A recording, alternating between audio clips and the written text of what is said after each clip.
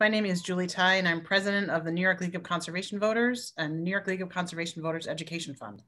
I'd like to remind everybody that this evening is being recorded and will be posted on our YouTube channel. I want to thank all of the candidates and staff for joining us today. These discussions are designed to educate and inform campaigns for City Council, Borough President, Comptroller, and Mayor on key environmental and public health issues facing our city. We hope to teach you about important environmental issues so that you're informed as you continue to run for office and while you're in office. For first-time candidates, we think of this as just the beginning of a fruitful relationship with you and hope we can continue to partner on these priority issues. Tonight, we have two panel discussions, one about lead poisoning and one about parks and open space. Toxic chemicals in our environment is one of the most pressing public health issues. That's why lead poisoning prevention is one of our top priorities. Exposure to lead can cause irreparable neurological and behavioral health consequences, especially for children who have developing bodies. We've been working on reducing lead poisoning for years, from paint, dust, and drinking water, as part of our efforts to reduce toxins in our environment. In 2018, we helped publish a report on the negative health impacts of lead poisoning in New York City and reviewed the city's enforcement of its lead poisoning prevention law. In 2019, we published a, helped publish a follow-up report on the inadequate enforcement of lead dust standards. Earlier this year, we released a report which showed that it's time to reevaluate our standards for lead in school drinking water. Clearly, we have more work to do, and this is one of our priorities for 2021. If you have questions for our panelists, you can use the QA function and we will address the questions at the end of each panel. To hear more, let's get to our first round of panelists. Our first panelist is Dr. Morri Markowitz. Dr. Markowitz received his MD from the Albert Einstein School of Medicine of Yeshiva University in 1974. He then completed his pediatrics training at Montefiore Medical Center, including a year as chief resident. Since the end of his training, he has been in, an attending at the Children's Hospital at Montefiore, where he sees patients with calcium or phosphate disorders and those with lead or mercury poisoning. He's also been an active research investigator focused on discovering improved methods to diagnose and treat children with these problems. Dr. Markowitz, over to you.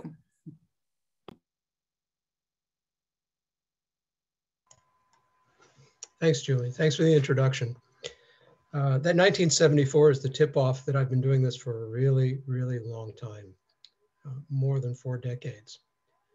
Uh, and my, my role as the first speaker is, is to uh, put the issue of lead poisoning in perspective, why it's still an important problem in New York City and why you need to know about it.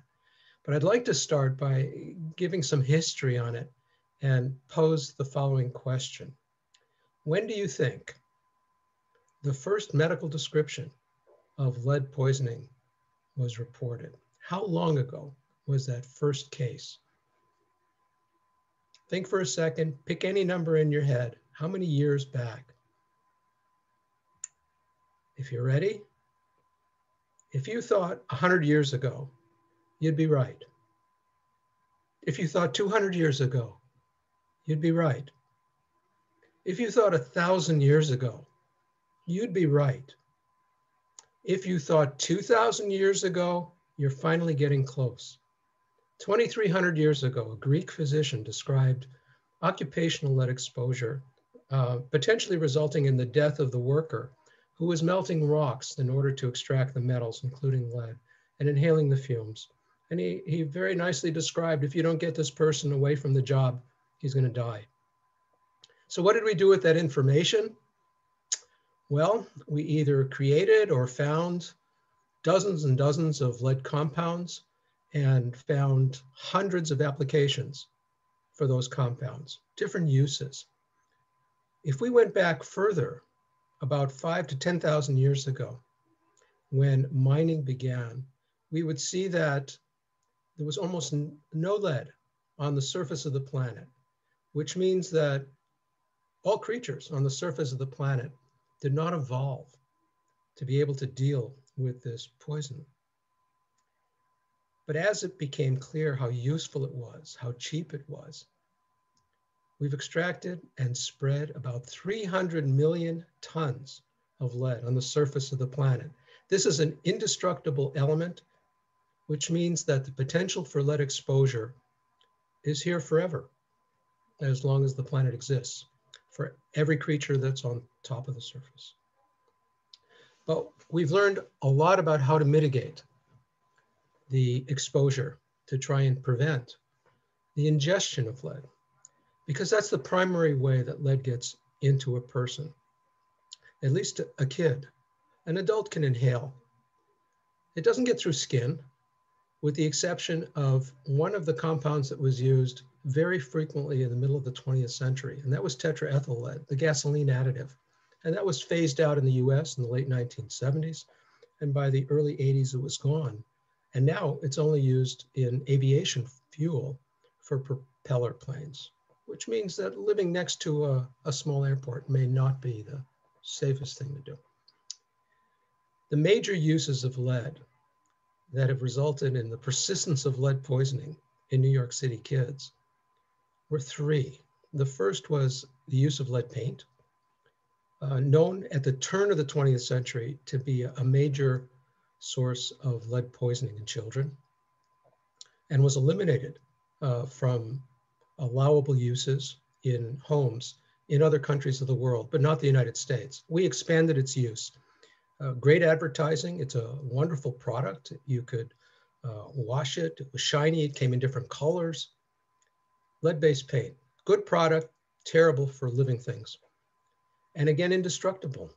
I've read that there were estimates between one and two million housing units in New York City built before 1960 when the most lead paint was being used. All of that could potentially still be there if the apartments hadn't been completely renovated and the paint removed. Of those apartments, maybe 300,000 have little kids in them. And those little kids are the ones who put everything in their mouths because that's normative behavior in the first three years of life in particular. But it also means that anybody who regularly touches surfaces that may have lead dust coming from deteriorated lead paint and puts their hands in their mouths or their toys in their mouth or other objects in their mouth, they can be eating small amounts of lead repeatedly throughout the day in their homes.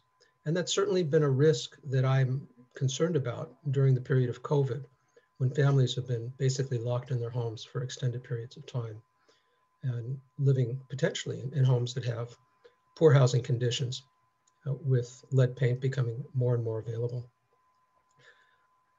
The third was cans of food. We used to solder those with lead solder. We don't do that anymore. We stopped somewhere in the 1980s. And we use lead solder for other purposes as well, including sealing uh, pipes uh, that carry our water, and the pipes themselves could have been made with lead as well. So there are many sources that are residual from our past use in New York City, even though for lead paint, the city capped the amount that was permitted for homes in 1960, New York State did it in 1970, and the federal government in 1978. Schools in New York City, the Department of Education continued to use lead-based paint in the schools into the mid 1980s as we only recently discovered a couple of years ago. So lots of sources, lots of hand-to-mouth activity, and the absorption of the lead that is digested from paint, from the dust, goes into blood. And the blood acts as the highway, it distributes the lead everywhere, to every cell in the body, every organ, every tissue, and especially accumulating in bone, where it can stay for years to decades. The organ that seems to be most sensitive to lead is the brain. It's the critical organ. And it seems to take very little lead to have a measurable effect. We use the blood lead test to determine whether a child has been exposed sufficiently and ingested enough to absorb enough lead so that we can detect it in the blood.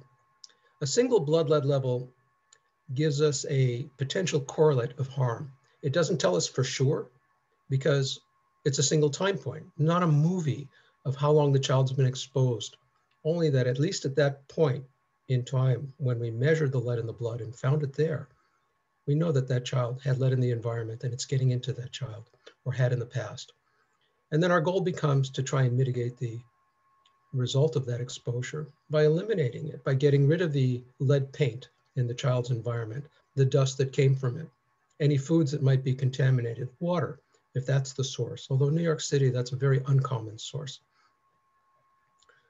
So our first objective when we test a child and screening is mandatory in the state for one and two year olds, is, is to see whether there's anything there. And then we have lead levels that guide us for what we do. The current level of intervention is five micrograms per deciliter in blood.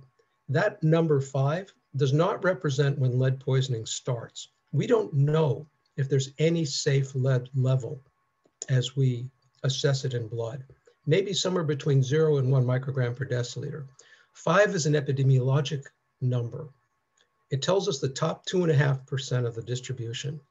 So if, if we took a thousand kids, 25 of those kids, the top two and a half percent, would have had a lead of five or more if they were tested um, back around 2010. So that's our target group because we don't have enough money to, to treat everybody. Our goal for secondary intervention is, is really chasing the problem because the child's already lead poisoned. The primary thing we should be doing is primary prevention. And that means housing control so that the laws that we have on the books are actually enforced and families don't have to live in poor conditions that result in the exposure, the potential, potential ingestion, and toxicity that accumulates. About toxicity and about the effect on brain, because it's been the driver for research for the last 40 years, and we've learned a ton. It doesn't take much lead. That's true. If we were to compare two groups of kids, say two-year-olds, one group had a blood lead of 10 micrograms per deciliter, right? twice the intervention level. And the other group had a level of one. We would see that there's a difference in the average IQ between those two groups of kids. And I'm using IQ generically. A test of cognitive abilities would indicate that there was a lower score in the kids who had a lead of 10. If we translate it into IQ points, it could be somewhere between four and six IQ points lower for the kids who had a lead of 10 all else being the same in their lives. So a little bit of lead can have an impact. Would you know that you lost four to six IQ points? Probably not. And neither would your parent. Unless you were right on the cusp, your teacher wouldn't know either. And by cusp, I mean if you're needing remedial help and you lose four to six IQ points, that's going to push you down uh, significantly and you'll need a lot of help. That's one part is the cognitive ability. The second is the ability to, to be able to retain the information, memory, to control your attention, to control your behavior. That's also hurt by lead at relatively low levels as we assess it in the blood. So the blood lead is our assessment tool, but it's again chasing after the fact and what we really need to focus on is preventing the lead poisoning to begin with. It doesn't distribute evenly in our populations. Kids who are poor live in poor housing. So they're the highest risk groups. So the effort has to be to focus on the high risk groups for the resources that we have in the city, I think, uh, and to be able to control the exposure by making sure that the laws on the books are effective and that the administration of those laws is fulfilled as required. I'm open to any questions and I, am happy to do it both during this um, webinar and afterwards. I can be reached through Montefiore Medical Center uh, by any kind of a web search at Montefiore. Thank you. Thank you so much. That was a great kickoff to this panel. Uh, appreciate it, Dr. Markowitz. Our next panelist is Taylor Morton. Taylor is the Director of Environmental Health and Education at We Act for Environmental Justice. They have been working with We Act since 2016, formerly as an intern, environmental health fellow, educational consultant, and environmental health and education manager. Lots of different hats there at We Act. Uh, among their responsibilities are leading education programs such as the Environmental Health and Justice Leadership Training and WEACT's climate education policy initiatives, as well as the organization's NYCHA Healthy Homes program, which seeks to improve the health and future of public housing residents. Taylor also recognizes the importance of exposing BIPOC and low income youth to natural elements and actively supports this mission. Taylor. Thank you so much. Uh, well, we can start from this slide. Um, so picking up on uh, on where our last presenter left off, uh, a really important thing to us at We Act for Environmental Justice is understanding uh, not only the role that environmental health plays on our quality of life and on our life expectancy, uh, but understanding housing as a health determinant. I know it was, was previously mentioned that uh, uh, kids who are poor live in, in poor housing and uh, understanding that if housing has such an impact on our health that we can see that happen in a lot of a lot of different ways. So a key part of understanding how lead impacts communities of color and lower income communities is understanding how this how this issue connects to, to housing as a whole and really understanding that uh, a lot of folks who live with lead in their homes also live with a lot of other uh, environmental health and environmental justice issues. Uh, and really understanding that, uh, that uh, home renovations is, is really key to this and understanding that who our, our landlord is is also key to this and how we're able to keep uh, folks accountable to any legislation that we set around mold and actually make sure that that's being implemented equitably is uh, key. Next slide. Uh, so some of the information that I decided to use with you all today uh, is, is really highlighting this idea that um, uh, that when we look at housing, we think about housing uh, that uh, it's actually a health determinant and, and looking at lead specifically, uh, the information that is on display here is from the New York City Environmental Health and Data Portal which is a really great resource and in giving us a deeper insight into um, data from the lives of, of New Yorkers. Uh, and in a lot of ways, I've used it in my work to highlight some of the inequities when we look at uh, look at health, uh, especially at, at, indoor environmental health.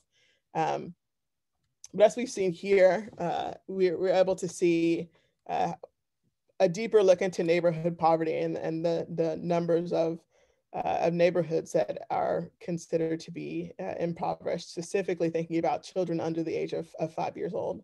Uh, the legislation that we've set, we have set around uh, around lead uh, is specifically looking at children who are under the age of six and understanding their vulnerability. And while trends have uh, trends have generally gone down, we, we, we've been able to see in the neighborhoods that have high poverty, uh, there are more children under the age of five who have been impacted by, uh, by lead poisoning.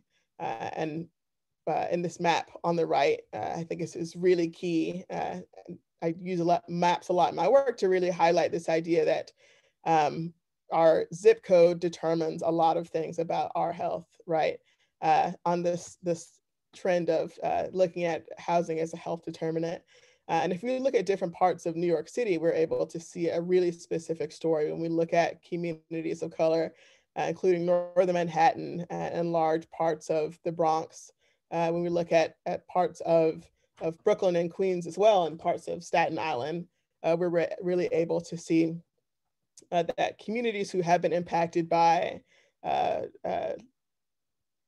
by uh, lead and mold, uh, and not having access to healthy foods, not having access to a lot of other resources, um, seem to have a synergy around these uh, around these issues, uh, which really raises the importance and in a lot of ways raises the consequence for uh, for uh, lead poisoning. Right now, these aren't communities who are only impacted by one issue and and and that's it at the end of the day right? A lot of the children who are impacted by lead are also those who who are impacted by um, impacted by other issues and and uh, a lot of times have parents who aren't able to take them out of school or who have to take off of work and, and that's a another consequence for them or who aren't able to take them off of, of work when uh, a parent or a teacher uh, a teacher or an administrator calls home uh, saying that your your child is acting out or having behavioral issues or or other issues in school. So it can be a really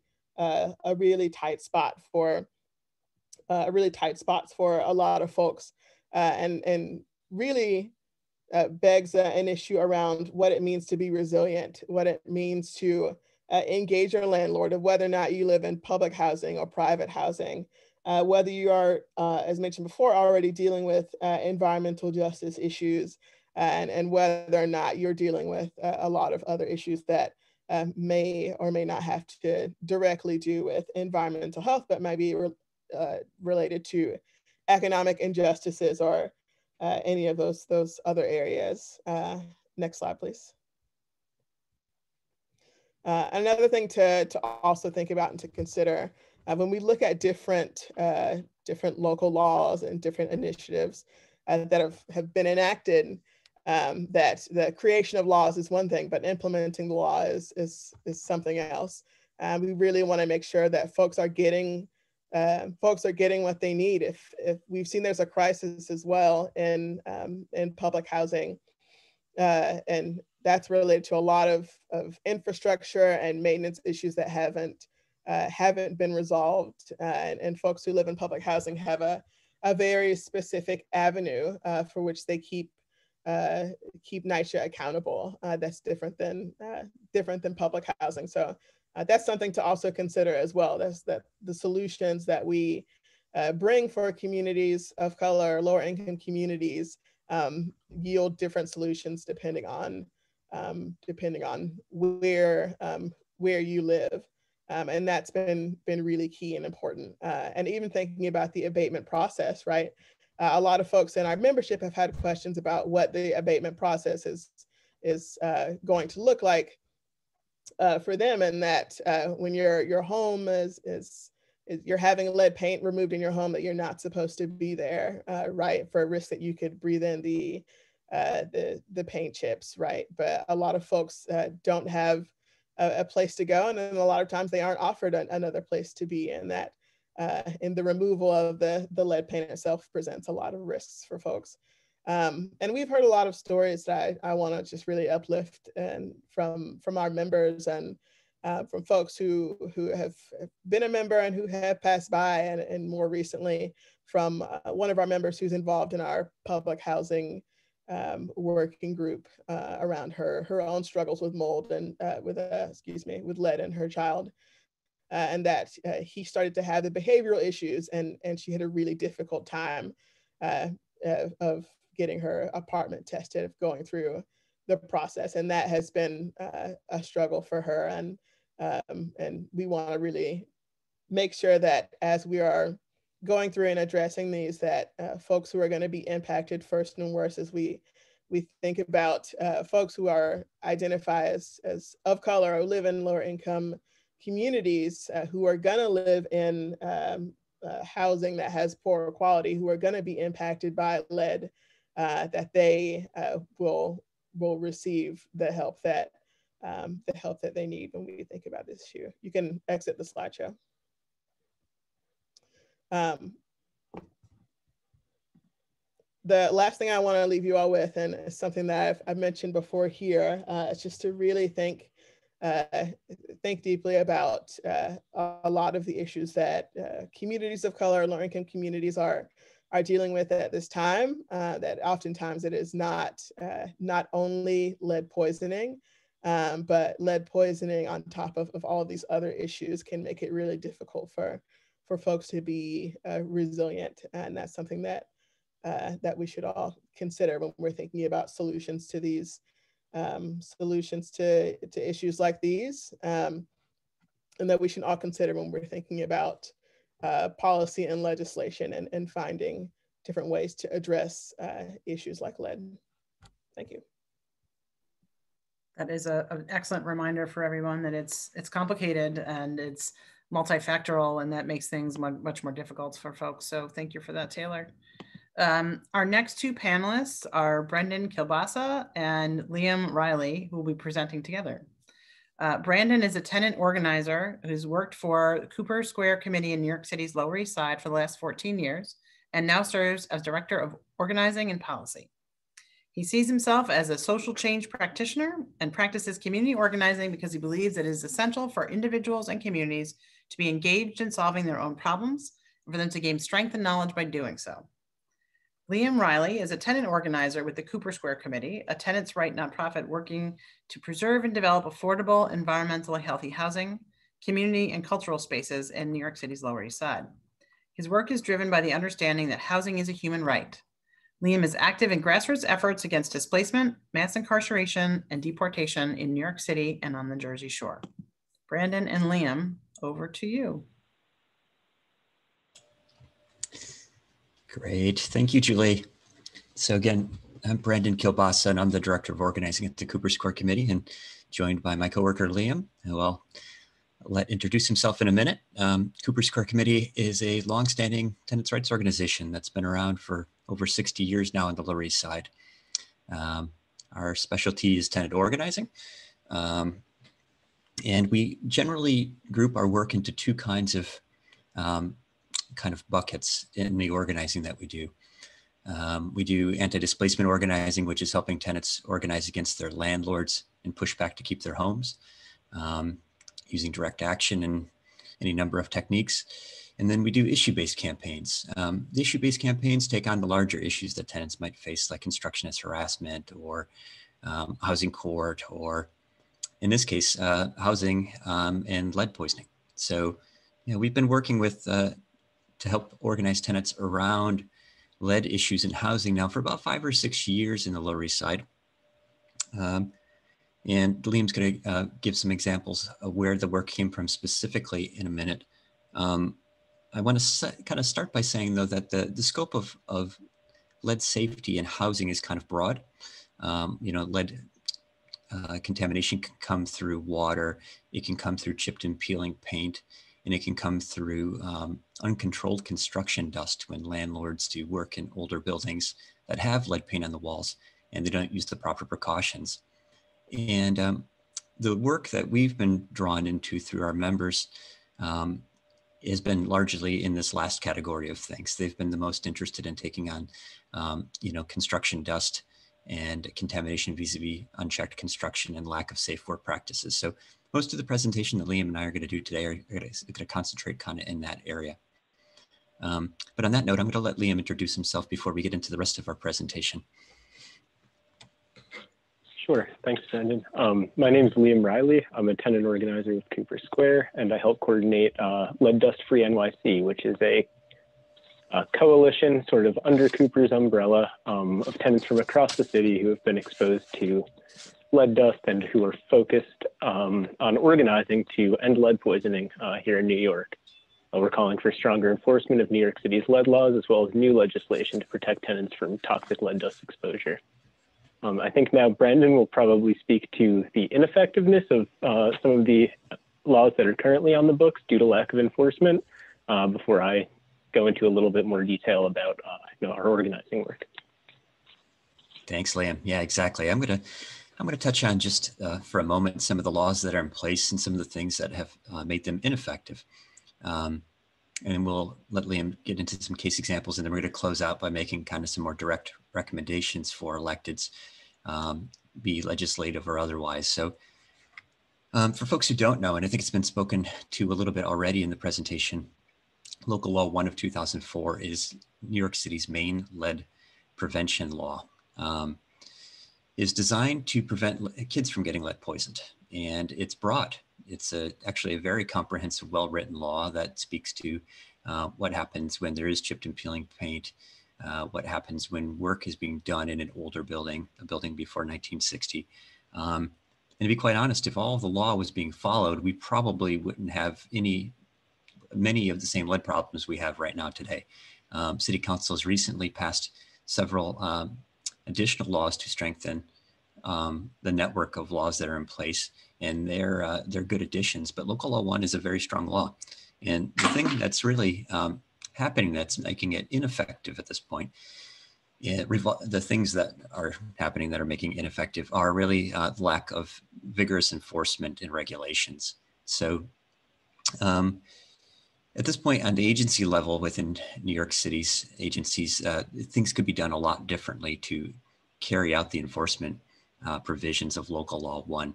Um, just uh, two or three um, aspects of the law are coming to mind that if the city was citing landlords for violations um, for these things, I think that our lead problems would be far less. Um, the law says that landlords are supposed to abate friction surfaces at vacancy at this point. Um, it's been, you know, this has been the law for over 15 years now.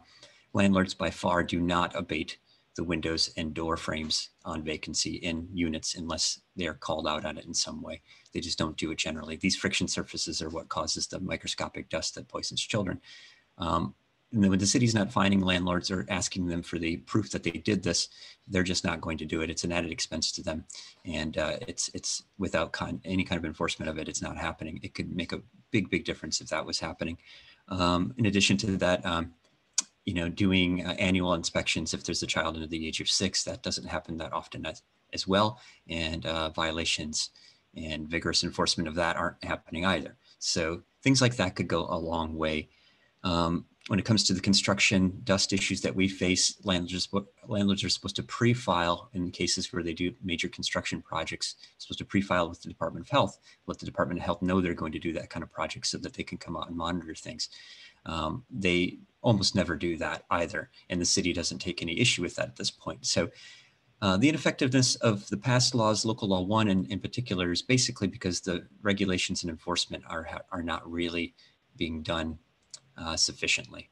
Um, and on that note, I, am going to turn it back over to Liam. He's going to talk a little bit more about like what this looks like on the ground and what tenants face because of this. And uh, then we'll jump into some final recommendations.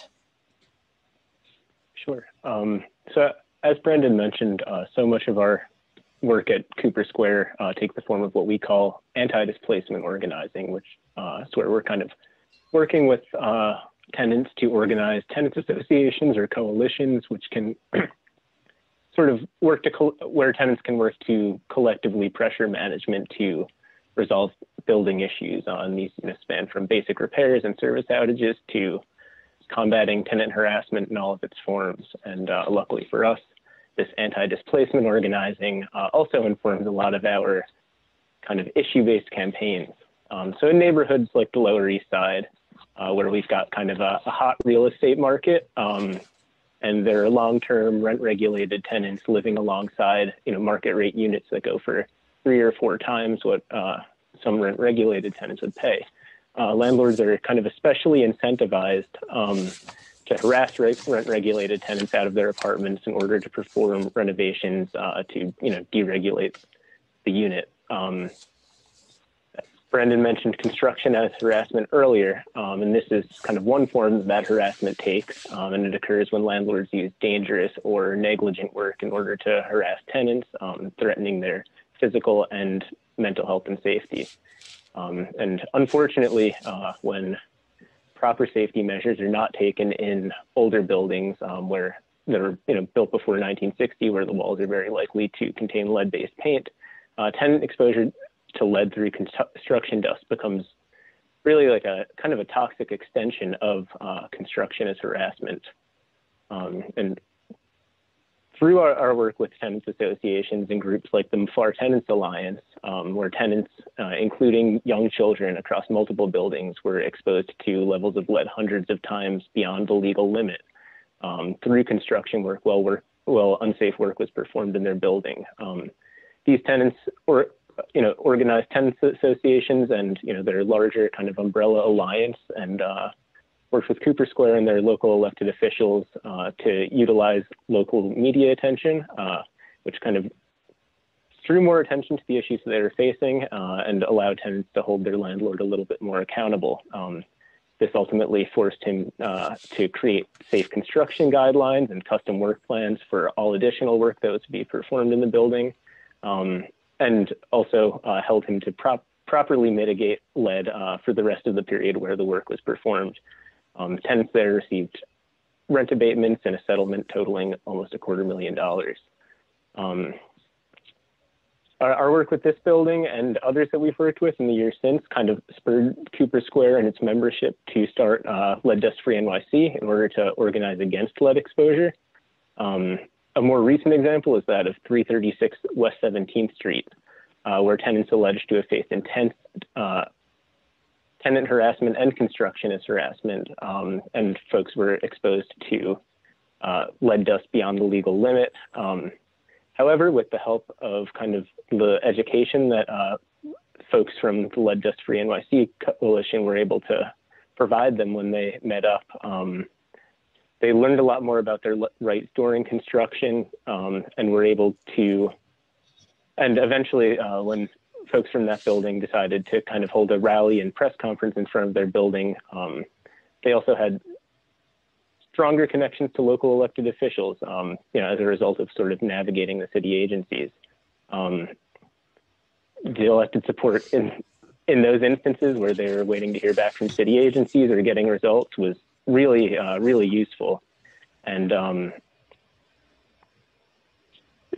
I think elected officials really play a huge part um, in so much of like tenant or neighborhood organizing um, just by providing the in institutional backing that they have access to. They can really kind of jumpstart the organizing, um, bring momentum to it in uh, instances where um, work might otherwise slow down, um, and it they it's and it's also you know really appreciated from the tenants. Um, something that and it's something that we kind of wanted to highlight here. Um, you know, in addition to introducing great legislation, uh, we think it's really crucial for local local elected officials to have uh, robust and you know, receptive uh, constituent services to you know protect their neighborhoods and serve as a resource for their constituents.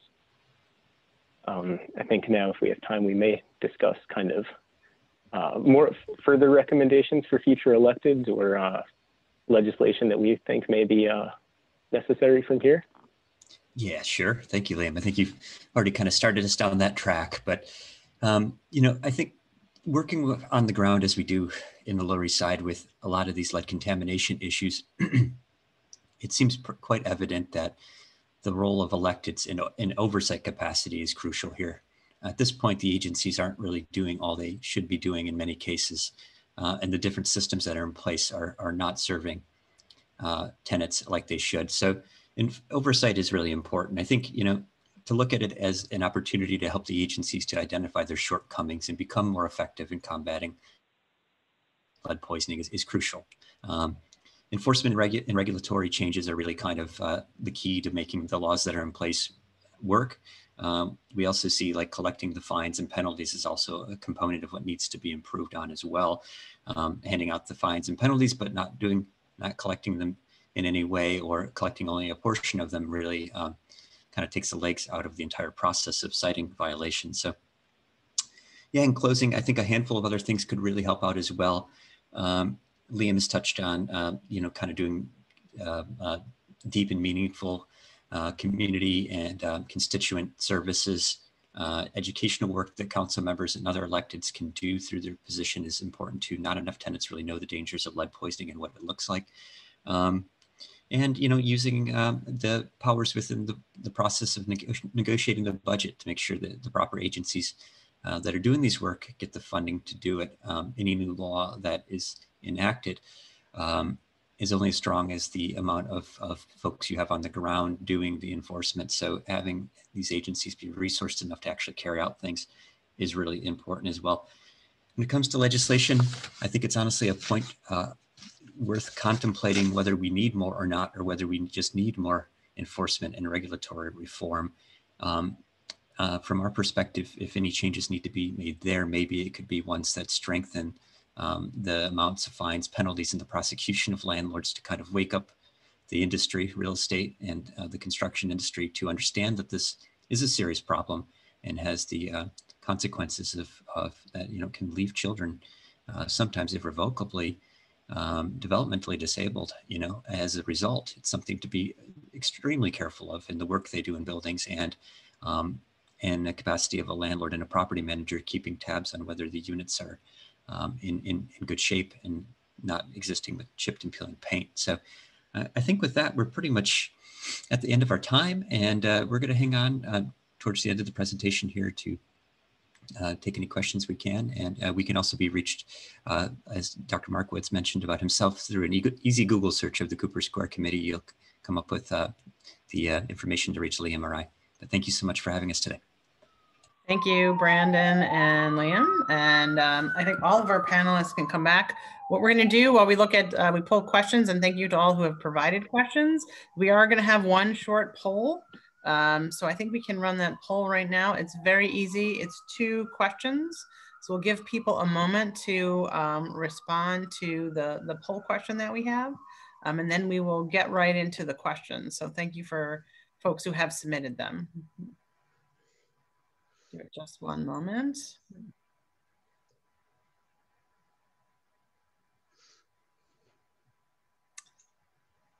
So we'll start with um, a question. I'm not sure who wants to take it, but we'll go with this. What can the city council do to better fight against lead exposure and poisoning in our city schools? Anyone want to take a stab at that one? Uh, okay, I will, in the absence of anybody else. Um, the discovery that there is lead in the schools, in the city schools, both in the water and in the paint uh, really is, is a recent phenomenon uh, over the last um, four years, I think, starting with water. Water being tested because of what happened in Flint, Michigan and how it hit the news and the water contamination um, for what they did there and, and, and the children who uh, ended up having higher blood lead levels as a consequence of, of drinking that water or attributed to that water. So, so that started a run of, of interest in water around the country. And lo and behold, uh, when the city schools, as well as all the state schools, were required to test uh, by the governor, uh, they found that uh, there was an enormous uh, number of schools that had lead in the water. In fact, the vast majority of schools had lead in the water, at least coming from, from one source. So um, that resulted in the requirement on, on an ongoing basis. Um, I'm not sure how often, I think every few years, for schools um, to test uh, all of the faucets that will result in drinking water uh, within the schools. And if they find uh, lead above a certain threshold, then they're required to remediate, to fix it. The problem with that, and here comes the, the, the law issue, is what the standard is for how much lead is permissible in the water. The, the EPA sets the permissible amount of lead in water at 15 parts per billion, 15 micrograms per kilogram of water. that number was not chosen on a health basis. It was chosen on a convenience basis for the water companies who said, yeah, you won't break the bank. You won't break us. We can get down to a lead of 15. Um, but to get below that, you're, putting an onus on us that may be not our responsibility because it may not be our water. It may be the water that's traveling through the house's pipes, starting with the leaders from the main pipes under the streets. And we don't control that. We don't control if there's lead pipes there or lead solder or brass fixtures that have lead, all of which are contaminating the water. We just control the source and the mains. So, so don't make us responsible. 15 is a good number. We can, we can pay for that. We can do that. And there are offsets. If you try to go lower, uh, because as you put additives into the water to get rid of any lead contamination that might be there, you may be changing the chemical structure of the water that permits harmful organisms to thrive instead. So you're trading one problem for another. So it's a balancing act for the water companies. On the other hand, bottled water, FDA says, FDA or Consumer Safety Commission, I think, says it's five parts per billion, five micrograms per kilogram of water. So why is one standard five and the other 15? Well, the argument is kind of the same. The, the bottling companies say, well, we control all the water. So yeah, we can get down to five. We're, we're really responsible. We're not worried about contaminated pipes in the homes. We can do it. It's feasible. Yeah, and we're not so worried about the organisms for some reason for bottled water as we might be for water coming out of your tap. So there's a, an incongruity between the two standards from the federal agencies for what's permissible. The American Academy of Pediatrics, um, other organizations around the world, health organizations say five is too much. It should be one. Or why is there any lead in the water? There shouldn't be any. So in schools, the standard recommended is 20. And that's, they're too high. 20 is too much, 15 is too much, five is probably too much We don't really know what it should be other than zero. Then we're sure there's no lead exposure from it. So for the schools, I would say that's the primary answer. The water has to be dealt with. The second answer has to do with the lead paint, discovered more recently. We may have had 80 years of exposure to lead paint in our public schools. Maybe that long, maybe longer. Again, any school built before 1985 could still have lead-based, probably has lead-based paint in it.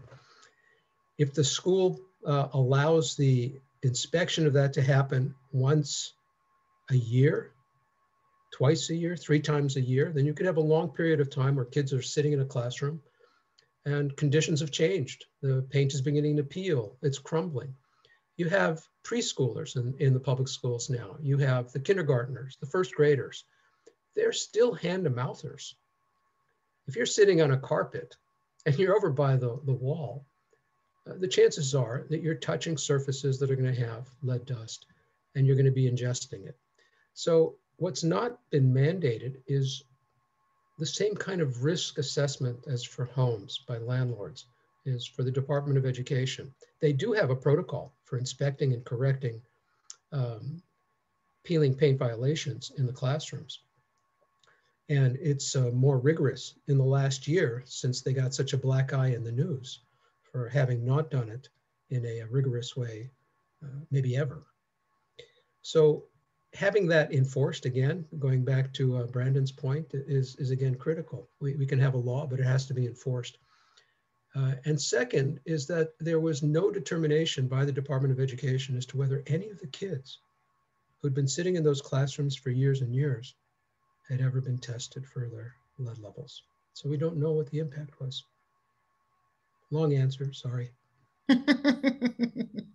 well, I have a good follow-on question if someone else would like to take it. Um, is what is behind the lack of enforcement? Lack of staff, lobbying by landlords, lack of support for tenants making complaints.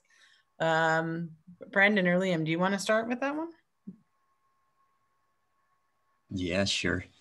Um, it's hard to say, um, but it is well known that uh, prior administrations didn't necessarily support the lead laws. Uh, Mayor Bloomberg attempted to veto the local law one when it was trying to pass city council and city council overturned it. So the administrations that are in place um, really do set the tone for what's going to happen here, right? And if they're not doing their job and if the people at the top are not saying this needs to be happening and this needs to be happening vigorously, uh, we need to get out there and we understand this is an inconvenience for landlords, but the consequences of it are devastating for families um, it needs to be done, um, then you know that can have a big impact on what happens. So um, there, I don't think there's anyone that really knows the absolute answer to that question, but I would say that it's you know the laws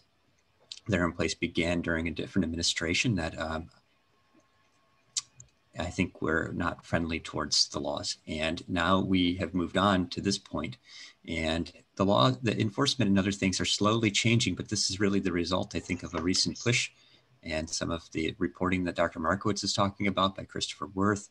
Um, a lot of work that's going on in a coalition of groups throughout the city called uh, New York City's Coalition to End Lead Poisoning, which is coming back together in a big way, and some, you know, additional, um, at this point, in, in an additional interest by the council to push bills. You know, in the last three to four years, there's been about 20 some new bills introduced by council members to try to look at what can be done here. Um, so I, I, would say that it's a combination of things from you know the agencies having the budget to there being a kind of a culture within the administration and others other places that could be doing more that just has not been broken down yet and has not been challenged appropriately and we're working on trying to do that uh, but that that would be my quick answer so Taylor, this is a yet another follow-on, but I think it's it's um, you know what can the council do, or what can a council member do to bring about more enforcement? Can they hold meetings? Can they do inspections themselves? Can they hold hearings? What kind of activities do you think a council member could do that could help bring attention to this issue? Yeah, absolutely. Um, I think there are a lot of groups who are organizing around this, uh, who a lot of uh, tenants who haven't had their needs met or who haven't been listened to. Uh, I think especially about the the work that uh, we've been doing with uh, with NYCHA residents. There are a lot of folks who um, who would uh, really need that support from uh, from our council. Members, maybe that's holding meetings, maybe that's listening to what folks are saying, um, but really bringing attention to uh, to lead is an issue, especially in communities where um, folks are going to be impacted um, impacted first and worst. Um, and I know that Brandon uh, and and company might have some additional pieces to add, but um, that's a really big, uh, a really big part of this, right? Is, is helping to apply pressure, especially if you represent folks who are going to be, uh, we talk about the health impacts, the communities who are going to be uh, impacted most heavily by these uh, by these issues. But the folks are there, and they may be your own constituents, right? So it's of of linking up with those folks and and trying to actually mobilize uh, and and and make things happen and working with community. I mean, I think right the main the main thing that council can do is, is, use the bully pulpit, right, which we just talked about. That's a huge factor.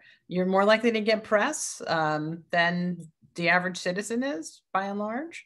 Um, but you know, holding holding the administration, whichever administration, accountable and making sure that they're doing that, and that's where I, of course, suggested hearings, I having come from an administrative agency, I wasn't always a fan of, but um, certainly um, that's it's a way to make sure that people are paying attention. And very often, the agencies will will change behavior um, to address those issues. Um, all right, we have time for one more question. Um, do the same standards hold for lead um, hold for short-term rentals like Airbnb? I don't know the answer on that. Anyone? Liam, do you want to take this? I'm not sure. I think, I don't know if I saw you turn your mic on there. No? Um, I can I can take a quick stab. I think they do. I think all housing in New York is um, that local law one applies to all housing in New York, and that short-term rentals are typically you know, many of them are actually illegal at this point, the way they're operated. Airbnbs are not rented out in a way that is in alignment with the law, but they are units that are intended to be long-term rentals, and the local laws all apply to them. Is that right, Dr. Markowitz? Look like you were going to answer. Yeah. Well. So uh, what I'm thinking of is that the the law says a kid resides in a place for 10 hours a week. So that's the determinant. If you're going to stay in an Airbnb for 24 hours, that's already 10 hours for that week. Theoretically, it should fall under the law in that way. It doesn't say it's got to be week after week. It just says 10 hours in a week, you've resided there. Uh, I don't see any enforcement of that ever happening, but yes, I think it should be covered.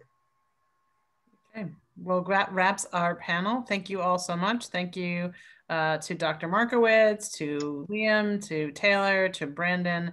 Um, that was really terrific and uh, informative. And there's more work to do on lead. So don't you worry, you council candidates. We will be sure to have uh, bills for you to work on um, moving forward.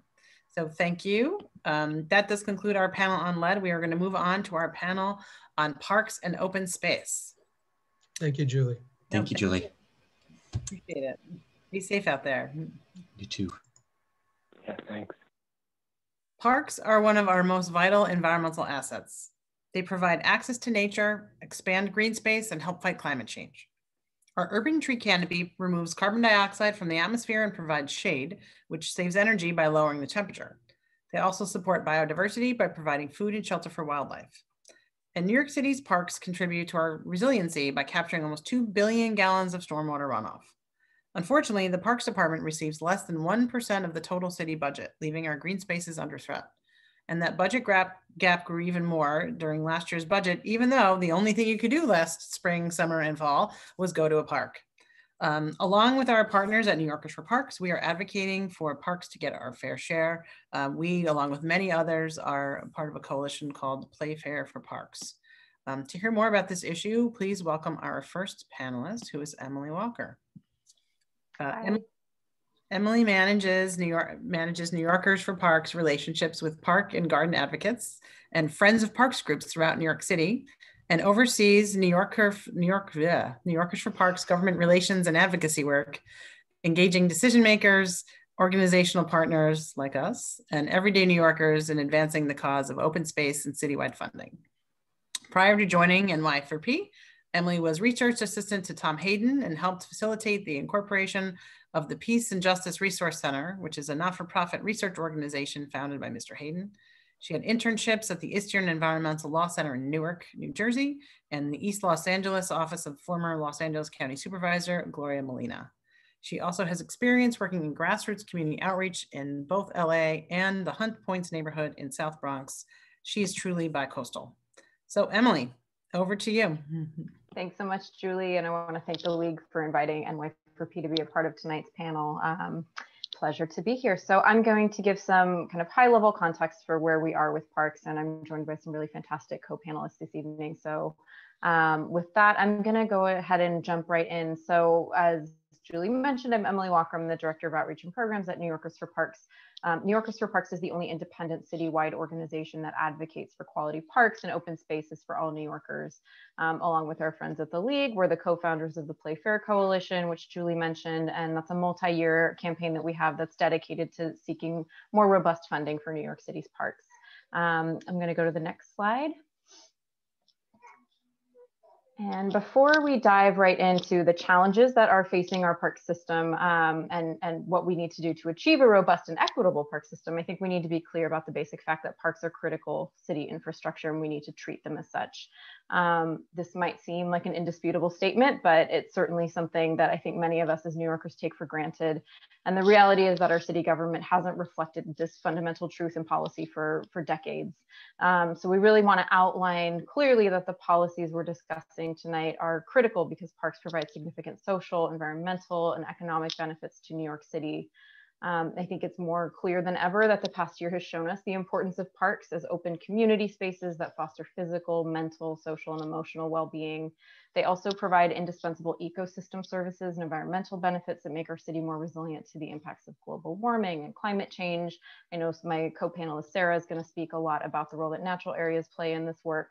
Um, green spaces support carbon capture, stormwater mitigation, and lessening the heat island effect of big cities like New York. They really are essential. Um, and finally, parks are a driver of economic growth and development.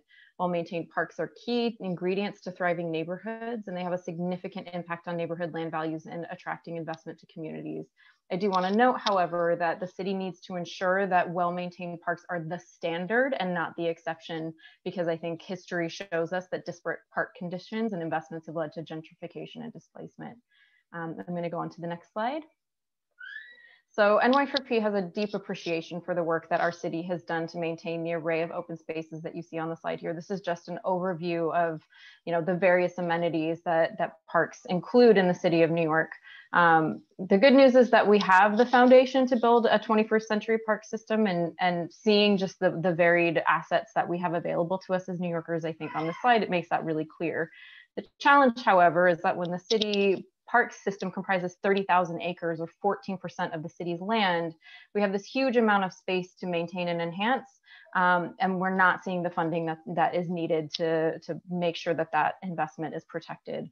Um, and, you know, I think the other thing to note is that while this might seem like a lot of open space, we know that it's also actually not enough to meet the needs of our communities today, and it's not equally accessible, which we'll talk about um, in just a moment. Um, I'm gonna go to the next slide.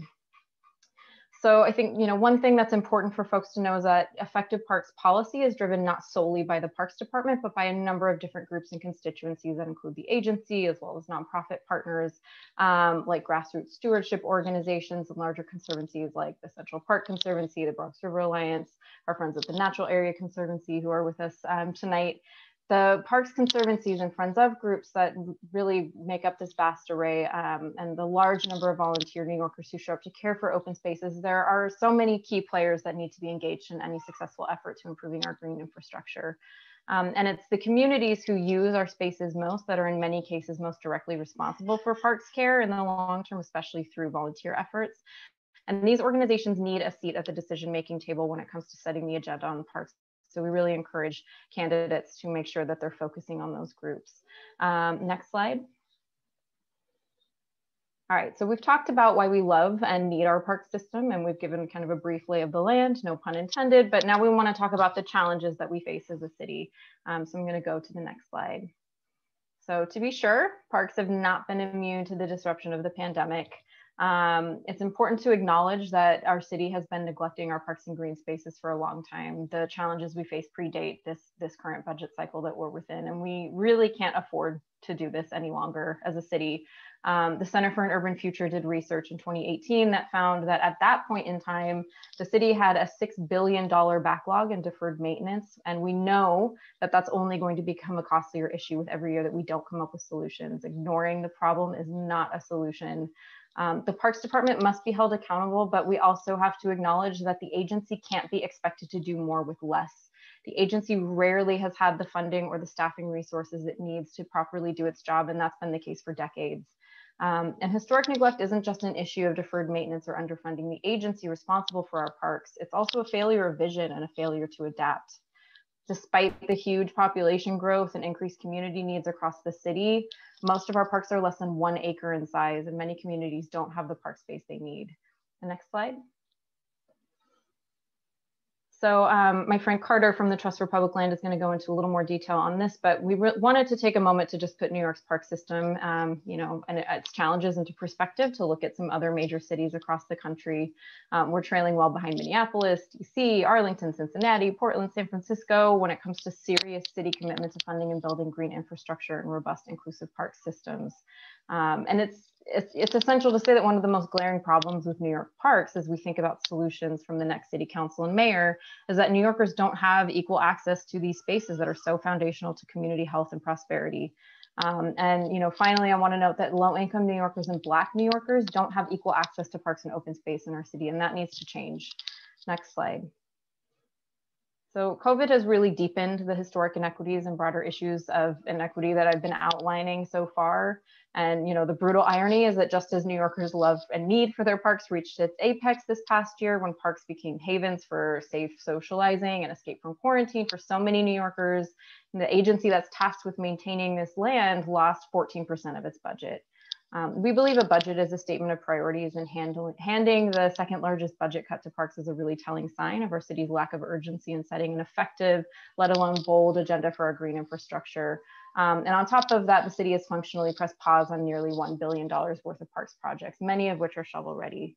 Um, these are issues we think of bureaucracy working against us at a crucial moment and a failure of political will to step up for the spaces that New Yorkers are really laying on. Um, so next, I'm gonna go on to talking quickly about how we can begin to address some of these challenges. So I'll have you advance the slides. Uh, one more. So in this section, we're going to talk about the, what we need long-term, but also what the immediate um, urgent priorities are that we think could be taken to mitigate the worst impacts of COVID and the deterioration of many of our parks over the last year. First and foremost, we need to restore the parks budget. We can't expect the agency to do more than less. This is a really strong statement that the council and mayor can make um, and testifying to a more equitable recovery for the city. Um, and along with the budget, we also need to ensure that parks employees' jobs are secure and just as important that the thousands of New Yorkers who came out to volunteer on behalf of their parks this past year are set up for success. Um, finally, we need to address the procurement freeze and get, get the hundreds of shovel-ready parks projects moving because our communities need them more than ever and they will help serve our recovery ultimately. Next slide. So if we could get all of the items I just laid out done, that would be a great start toward energizing a robust park policy. But we also need to look at the longer term vision and strategy. That means, again, looking at our budget as a statement of priorities and comparing the half of 1% that we allocate to parks with the 1 to 2% that most other major cities across the country are devoting to their park systems. We also need to pursue alternative funding sources so that we can have a realistic plan for tackling the $6 billion in deferred maintenance expenditures that we have. And we need to just hammer home the point yet again that the we need to support the New Yorkers who are turning out every day to volunteer in their parks. Next slide. Um, so, you know, you'll see some of the items here that we think, you know, would help achieve a more equitable parks ecosystem. Um, we've been approaching parks improvements in such a piecemeal way, and that's why we've ended up with so many discrepancies. And communities need to not be left to fend for themselves. We need a citywide plan in place that will prioritize park enhancements across the boroughs, and we'll also make sure that, you know, communities that have been overlooked for a long time are not having to fight for those, those improvements to be made. It must be an equity-driven approach um, around community needs. And um, I'm gonna have you move to the next slide in the interest of time. So um, with this, I know I tried to go through a lot. There's so much depth that uh, my co-panelists are going to give. I wanted to just briefly highlight the resources that New Yorkers for Parks has available, as well as some of the research that we draw upon from some of our peer organizations at the Center for an Urban Future, the Trust for Public Land. Um, and, you know, I encourage you all to reach out to New Yorkers for Parks. We're a resource for you all as you are, you know, going through the campaign. And we want to ensure that we're helping collectively to make sure that parks and open spaces uh, don't get left behind. So thank you for your time. And with that, I'm going to turn it back over to my friends at the League. Thank you so much. Don't you worry, we won't let them forget. I assure you there are questions about parks in our questionnaire. Um, uh, now, our next panelist is Carter Strickland. Um, as New York State Director for the Trust for Public Land, also known as TPL, since 2017, Carter leads a team that protects open space and builds parks and playgrounds around New York. Prior to working at the TPL, he served in many roles over a 25 year career, including as part of the city's sustainability team and as commissioner of the New York City Department of Environmental Protection, where he launched the New York City Green Infrastructure Program, the New York City Clean Heat Initiative, and the New York City Wastewater Resiliency Plan, led the agency's response to Hurricanes Irene and Sandy, and oversaw programs related to infrastructure, planning and construction, water quality, air quality, climate change, land use, ecological restoration, and energy. Carter. Thank you, Julie. And I want to thank um, the league and, and uh, the league staff, Carlos and the team for putting together this great panel and elevating uh, both lead poisoning, which is really important, and uh, parks um, for the benefit of our next political leadership class.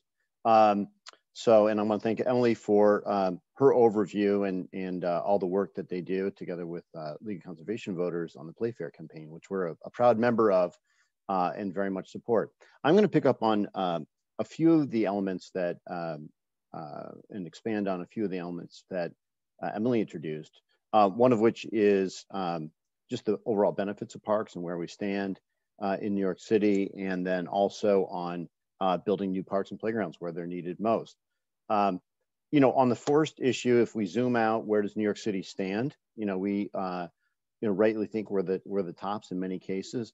It's not true for our park system. We've got tremendous park, we've got great historic assets, but if you zoom out and, and Trust for Public Land publishes every May uh, a benchmarking report against the top 100 cities in the country uh, and looks at a number of metrics. We look at access to parks. We measure it by 10 minute walk. New York actually has a its own standard, but the 10 minute walk standard is one we apply across the country. We look at overall park acreage. We look at um, investments uh, in the park system, and we look at amenities. Um, uh, what's in the parks when you get there? Is it attractive? And overall, on balance, um, New York has been um, uh, is, is now number 11 in our last year's uh, report. Um, I actually don't even know where we're going to stand this year, so we might move up or down uh, a point or two. Um, you know, but clearly there's some strengths. Those strengths include uh, a vast network, as, as Emily mentioned, 1,700 uh, uh, park uh, areas. Um, that means that about 99% of New Yorkers are within 10 minute walk of a park, which is great. Um, sometimes those parks are small though. So in terms of um, uh, uh, acreage per person, uh, New York is less than other park systems across the country. And in terms of amenities, and we pull out playgrounds, there just aren't enough it's uh, you know we're ranking the 32nd percentage there. So there's strengths and there's rooms for room for improvement. Um, next slide, please.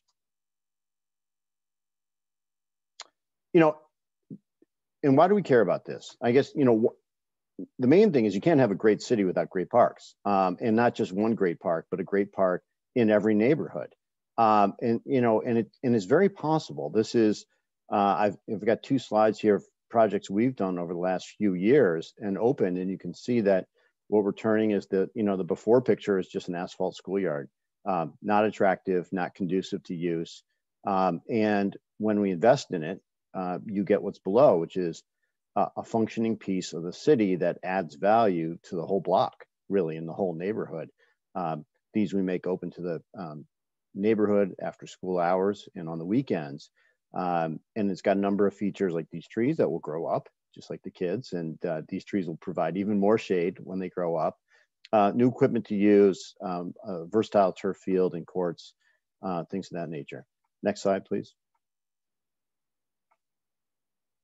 You know, same thing here, and this uh, this features uh, some beautiful artwork as well.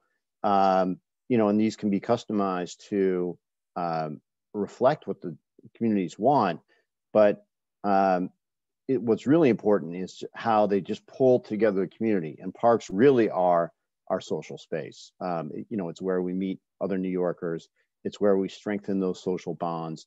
And those social bonds, uh, it's not an exaggeration to say, are lifesavers. There's been many studies going back to um, what happened in uh, Chicago uh, back in 1995 during a heat wave. And those communities that had strong social ties had more survivors uh, in those communities where, unfortunately, at that time, elderly people died of heat.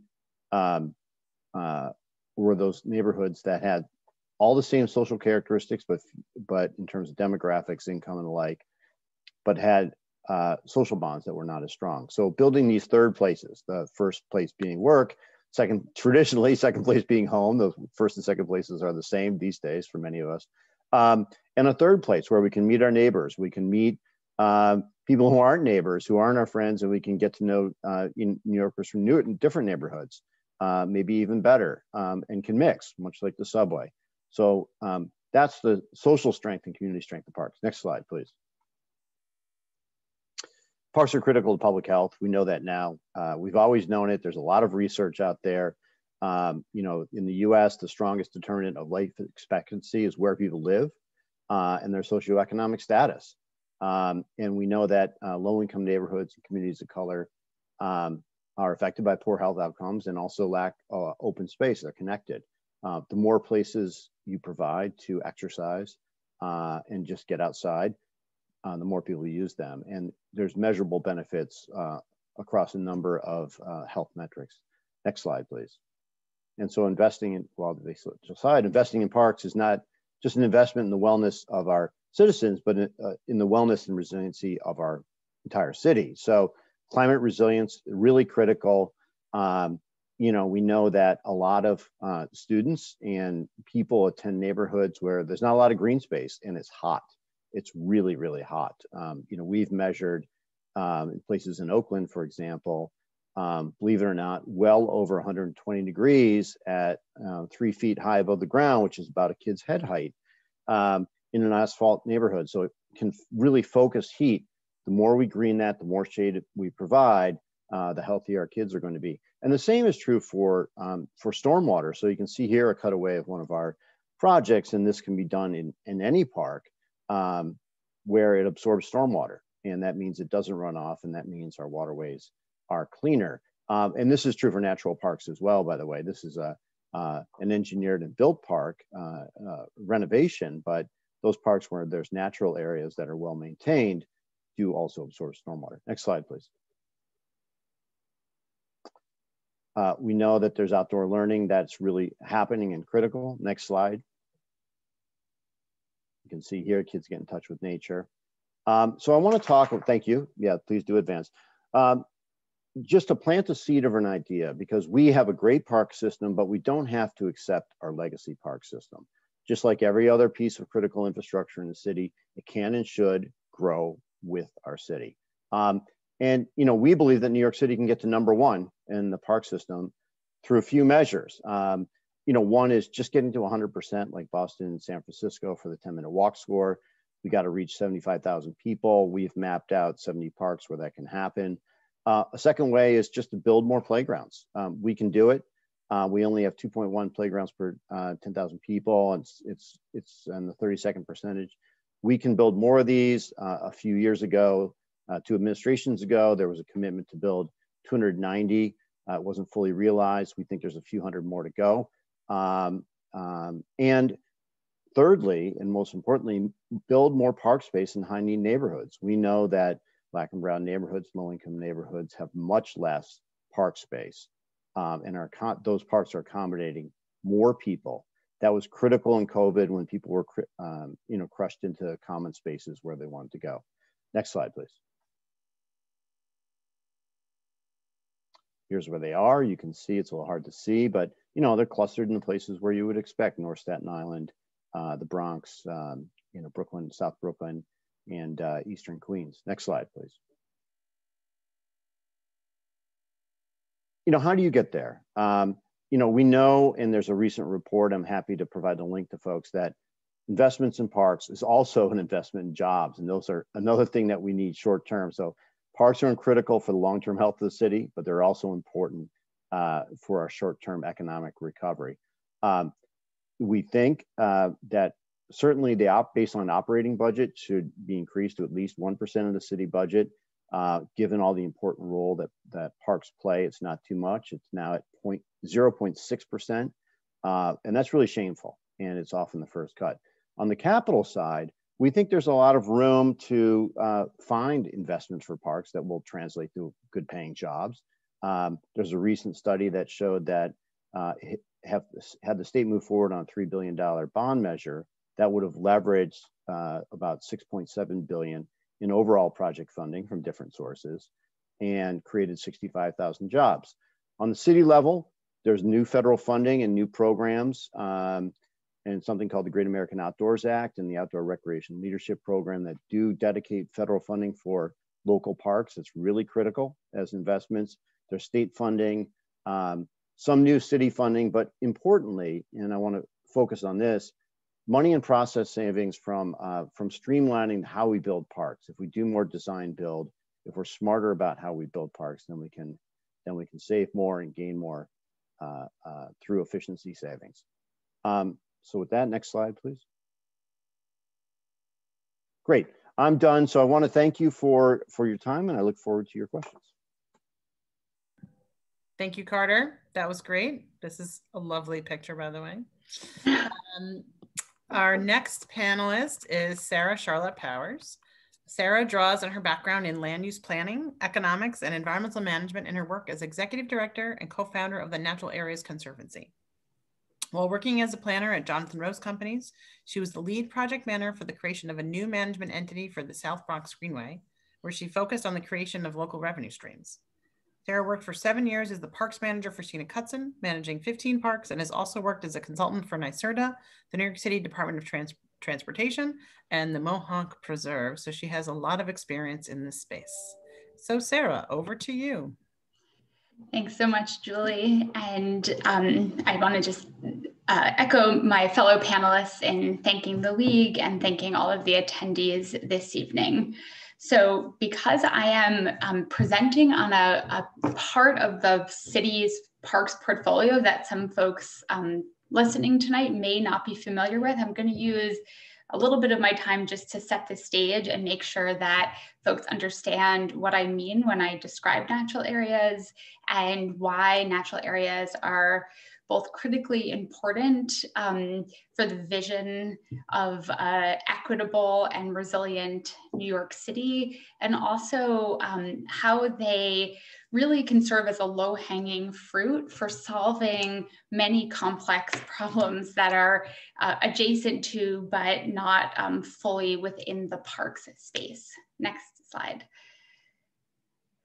So just to set the lay of the land a little bit, as a lifelong New Yorker, I was really surprised when I learned that 40% of the land cover of New York City is green and within that, almost 12% is natural habitats, the kinds of places that you might imagine in large state parks or um, in coastal areas on Long Island or on the Jersey Shore. But these places exist right here within the five boroughs, and 50% of New York City's natural areas, representing one third of our city's park system, um, are under the jurisdiction of the Parks Department and the city. Next slide. So I wanted to just give kind of a, a high level overview of some of the reasons why natural areas are really important um, today and for the future. And the first of those is quality of life. Next slide. So um, both Emily and Carter touched on this a little bit, but natural areas are really the lungs and um, gardens of our city. They play a really outsized role in improving our local and also our, our broader air quality in providing cooling, addressing things like urban heat island. Um, large natural areas serve as heat sinks for surrounding neighborhoods, so they play a different but important role that complements the role of street trees. And our natural areas also play a really critical role in absorbing stormwater and helping us to reduce localized flooding. Next slide. Um, natural areas also serve a really important role in making our city more resilient for folks who lived in New York during um, Superstorm Sandy, but also for folks who spend time in neighborhoods like Broad Channel, even on uh, days when there's just a light rainstorm. Next slide. Um, you'll know that our wetland areas play a really important role in protecting our neighborhoods and road and transportation infrastructure from localized flooding. And we also know that our natural areas play an outsized role, and this is based on new research just from last year that our organization conducted. 85% of the carbon sequestered in trees in New York City is sequestered within New York City parkland in forest patches, and healthy forests in our city store three times more carbon than degraded forests.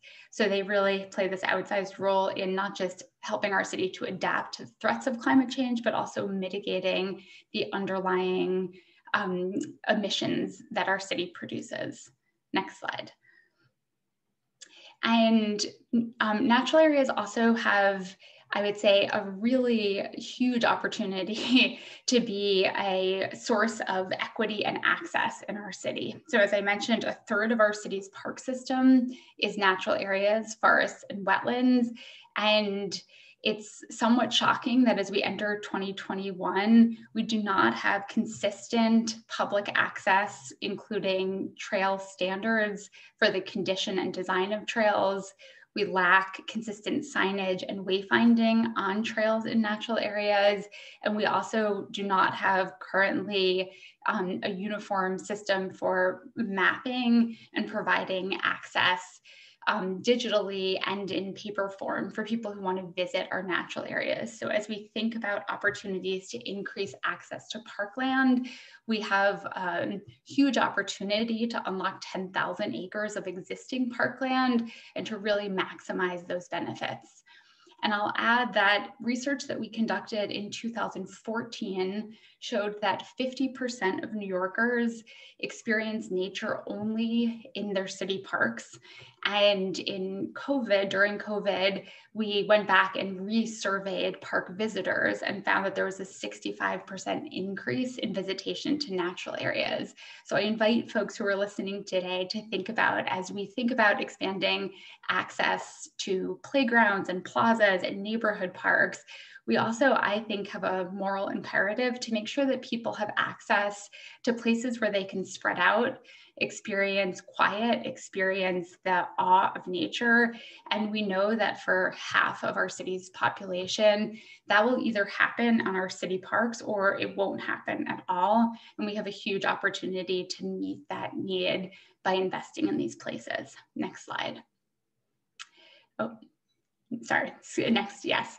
So um, I say here, luckily we have plans. Our organization working closely with dozens of partners have recently completed long range plans, so 25 to 30 year plans that are um, heavily informed by both um, scientific research, ecological research, but also focus groups, meetings, and extensive community engagement that lay out roadmaps for the care and investment in each of these major systems. So seven over 7,000 acres of forests, um, over 4,000 acres of coastal and inland wetlands, and a plan to create uniform and high quality access to over 300 miles of nature trails. Next slide.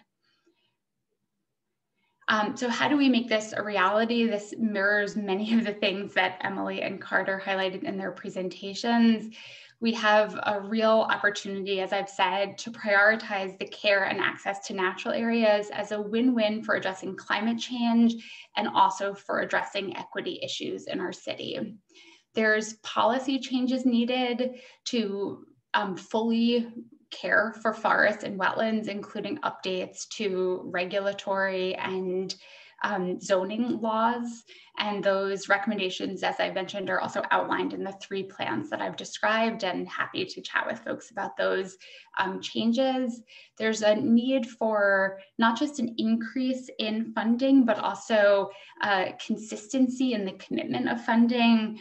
Um, forest management was one of the things that was funded in the um, 2020, FY 2020 Playfair budget, but this is a multi-year, even multi-decade type of work, and it's very hard to successfully implement um, positive change with one-shot funding that only lasts a year or two. We need the kind of 10-year capital investments that we've seen for other types of large infrastructure improvements. And then I'll highlight here that the scoping that we've done outlines the creation of over 300 new jobs um, through the care of these places. And these are high quality jobs and also jobs that have a lot of transferable skills into the fields of conservation and horticulture. And I think are critically important to both provide the training and then the job security needed to really get this work done. Next slide. Um, and with that, I, I, think I'll give a, a, minute to the next panelist, but I'll say thank you so much for this time and I look forward to answering questions in the Q&A. You might be the first panelist in three days of panels to end. Congratulations. You're welcome. Our final panelist is uh, Masoom Moitra. Masoom is a community urban planner, architect, educator, and artist, currently working as director of El Puente's Green Light District which is an initiative in holistic self-determination and community human rights in the rapidly gentrifying and historically environmental justice neighborhoods of South Williamsburg and Bushwick. As an independent consultant, Masoom has, has been recruited by communities across New York to develop participatory plans and frameworks that center equity and inclusivity as part of Hester Street, she co-led community engagement of over 180,000 New Yorkers across five boroughs in the development of the first ever comprehensive cultural plan for New York for the New York City Department of Cultural Affairs. Masoom. Thank you so much, Julie. And thank you, Sarah, for that extra minute because I feel like I'm going to need it. And thank you all the panelists. These were uh, really great presentations. Uh, so I'm going to be talking a little bit about uh, parks in the context of environmental justice um, and why we need a very targeted parks um, approach when it comes to EJ neighborhoods. Uh, and I'm going to dig a deep, a little deeper into the word equity uh, because uh, you know El Puente has been doing this work in equity for almost 40 years now, um, and because it's a very popular word now. So really look uh, into what that uh, means um, to the everyday life of um, an environmental justice community. So next slide, please. So El Puente is a community human rights institution uh, that promotes leadership for peace and justice, and it's been around since 1982. It was founded by Luis Garden Acosta, uh, Gino Maldonado, and Frances Lucerna, who's now our president. Uh, next slide, please. El Puente has a long legacy of environmental justice and was one of the pioneers in the early um, environmental justice um, wins and struggles in Brooklyn and in New York City.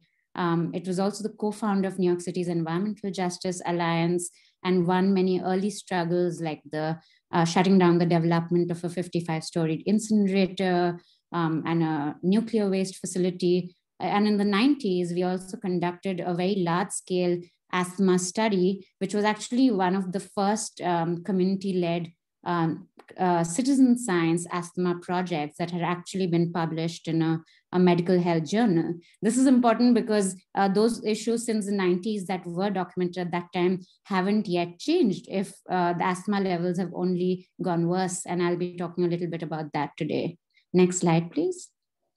Uh, so the Green Light District, of which uh, I'm the director of, uh, is an initiative in holistic and self-determination centered community development and urban planning. And I encourage like all candidates to really um, look at this and consider this approach towards looking at problems, including air quality, parks equity, you know, uh, lead uh, poisoning, all of these issues, uh, the way we have looked at, at it in the past, which is through a framework of holism, like connecting issues to each other, looking at it in a very holistic way, and by putting the power of development and leadership in the hands of residents and acknowledging residents of communities that have undergone these issues for ages as um, leaders and as knowledge holders and as problem solvers.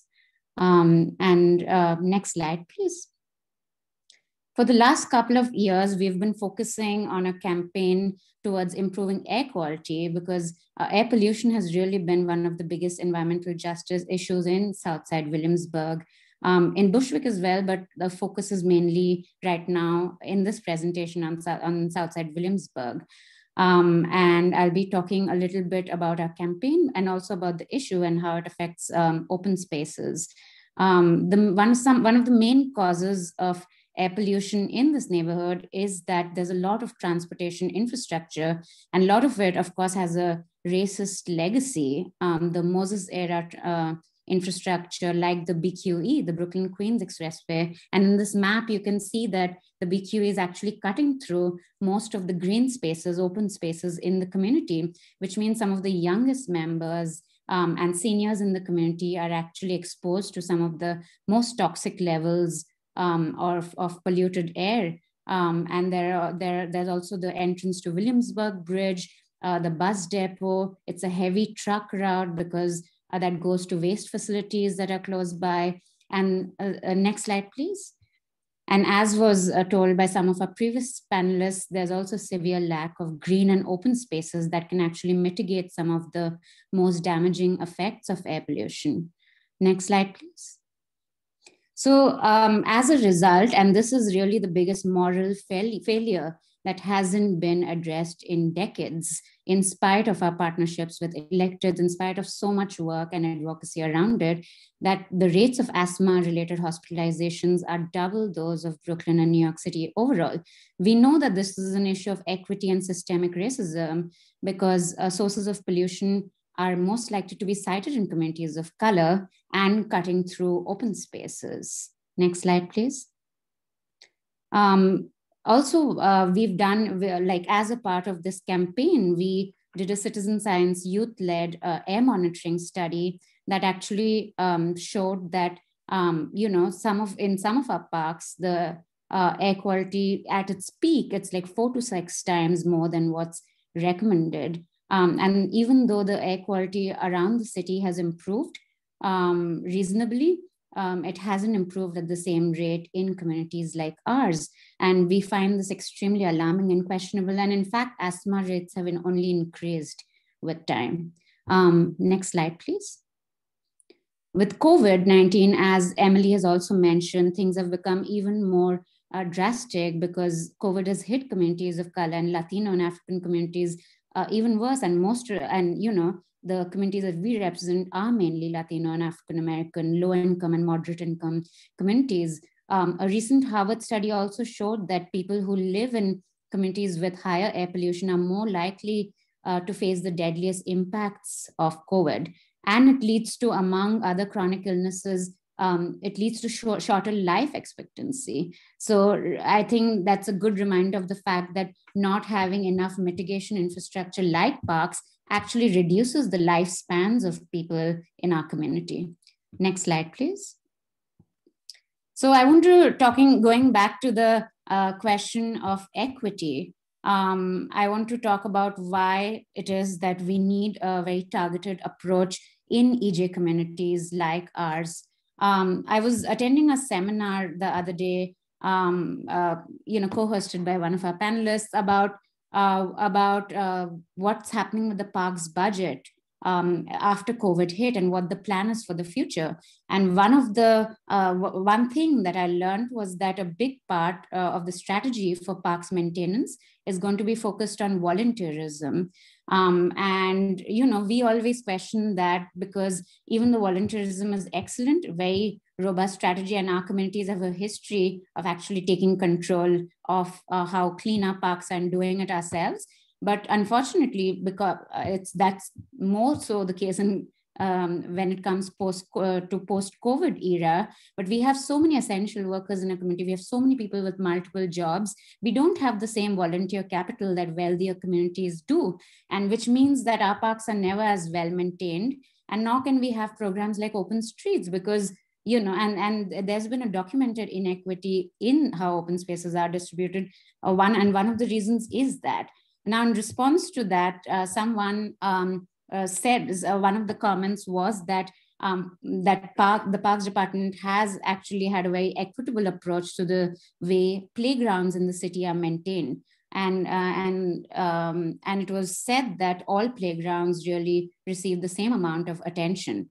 Now, when I brought that back to community members who have grown up in parks in the community since they were kids, it, it was a laughable thing, you know, because um, we, we, we're actually conducting oral history interviews right now with residents to document the condition of parks in the neighborhood, but also what uh, their, uh, the condition of air quality. Um, and uh, really the, the one of the parents, I was just listening to one of them today, and one of the parents said that there's and, and this has been repeated again and again by community members there is not a single park at walking distance that they can actually do go to during covid before covid and uh, especially you know at the times when we needed the most people have to commute to other parts of brooklyn um, manhattan even other parts of north brooklyn. And it's not easy to commute anymore. So even within north brooklyn there's an inequity in how parks are maintained. Uh, so we really want to say that uh, and even if all parks were maintained the same way, when we talk about equity, we are trying to say that more resources need to be directed to communities that have been neglected historically, but also communities with environmental justice issues like poor air quality, because we need a different a different set of tools. We need green walls, we need air purifying trees, we need more ground cover. We need a whole different kind of approach when it comes to improve parks improvement, and that is really equity. Um, when it comes, can you go to the next slide, please? When it comes to equity, we also want to tie it to self-determination. So it's not just enough to increase the park's budget. It's also very important that when money goes into a certain community, that you work with um, the uh, with people who and organizations that have been doing this work for um, decades and that uh, we are looking at solutions that are actually uh, being developed from the ground. And all of us, all EJ communities have platforms. We already have uh, plans which we have worked on with technical expert, experts, with our elected partners, with uh, uh, with you know academic partners we already have the solutions in hand and we want you to come to us look at our platforms and um, help us implement it. We don't want uh, you to come up with the solution. We want you to come us, come to us and ask us for, um, you know, how can we implement these things because we can't do it alone and we need your help with implementing it. Uh, so we want to, the main thing is that we want equity to be tied in with self-determination and we want to look at parks as mitigation and public health tools, not just as recreational tools. Uh, next slide, please.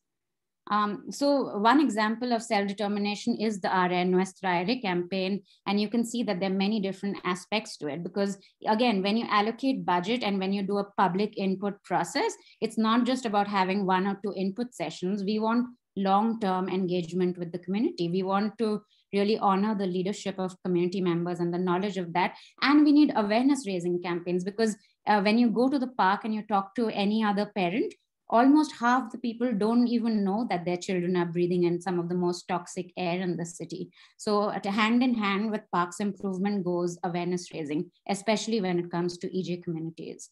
So you can just quickly go through the next few slides, um, which is really about how we really uh, depend on uh, citizens and our young people to lead some of these studies. Um, next slide, please. And we also use arts and culture a lot to make sure that the everyday person is able to give their input on how parks uh, can be improved, how air quality can be improved, uh, but also we are able to spread the word about what the problem is. You can quickly go through the next slides, please. So these are just uh, some examples of how we have been advocating around this issue and uh, we've been doing a lot of community forums. And if you can stop here. So these are this is really the five point action platform. And then again we encourage everyone to go and review this platform um, and really look at the way in which we have come up with five very distinct and holistic measures for uh, how we can um, start making uh, make, taking action on this problem and improving it. And each of these uh, now have a task force and a working group um, which uh, you know we invite you to join to help us actually uh, implement some of these solutions. Next slide please. Many of these solutions, like for example, we want to um, propose that there should be green walls that separate like infrastructure like BQE from parks that they're cutting through. And this is like an issue of reparations, right? Because uh, the BQE was not built with the consent of the neighborhoods uh, of color and communities of color through which it cuts through. So there is a duty of the city to be able to take control of, um, uh, of people's health and how uh, what the impacts have been. So there are many barriers. Like, for example, we haven't been able to identify what is the jurisdiction under which green walls can actually be built? Do we go to the DOT? We, when we talk to the DOT, we are sent to parks, parks sends us to the borough commissioner. So there is, um, there are so many barriers that we encounter when we try to implement uh, many of these things. So we need your help with also figuring out what these barriers are because we are not seeing our community just at the south side. We are seeing it as an example of an EJ community where we can we can actually have some wins and we can scale that up to EJ communities all around the city. Uh, so with that, I'll just end the presentation and I'll say that the main takeaway should be um, that equity and self-determination go hand in hand. And, uh, you know, this is not the only platform. There are many platforms around the city, and we would love to work with you to implement these solutions. Thank you so much. Thank you, Masoom. That was tremendous. Um, I want to remind everybody that you can submit uh, questions through the Q&A function. Um, and we have another poll for you. So if we want to run that poll right now, this is a one question poll. So it should be very um, quick to respond to. Um, trying to get information about what, what constituents care about on these various environmental issues. So um, thank you for your participation in that. We will give a moment. And then again, if folks want to submit questions, we are happy to take them.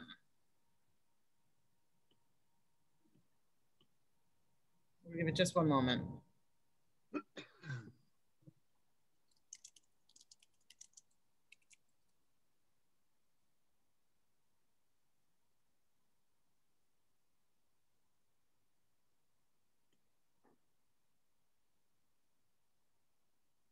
Okay.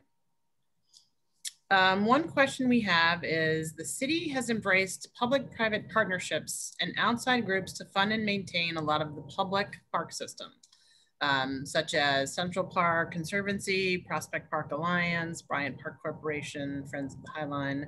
Um, should electeds look at returning more public control and funding for public parks? And how might one go about doing that when the allure of funding, uh, alternative funding is uh, so popular? I'm, I'm happy to maybe kick things off with this one and um, I would welcome my co-panelists as well. I think, you know, for New Yorkers for Parks, our perspective is that um, the nonprofit partners that steward specific parks like the conservancies and alliances mentioned in the question um, are actually providing a, a real benefit to the city and that you know, the fact that there are these nonprofit institutions that can um, get funding for maintenance staff, for um, in some cases capital improvements, means that that is public dollars that the city of New York is not having to invest in those specific parks. I mean, if you think about what it would cost the city of New York to maintain Central Park and Prospect Park alone, um, without any sort of private support, there would be so little left, if not anything left, for the other parks that are really essential to neighborhoods. And I think you know, to Masoom's point, like for communities that do not have some of these um, private organizations in place, that those public dollars are absolutely essential and there aren't enough of them as it stands now. So for us, you know, having nonprofit partners that can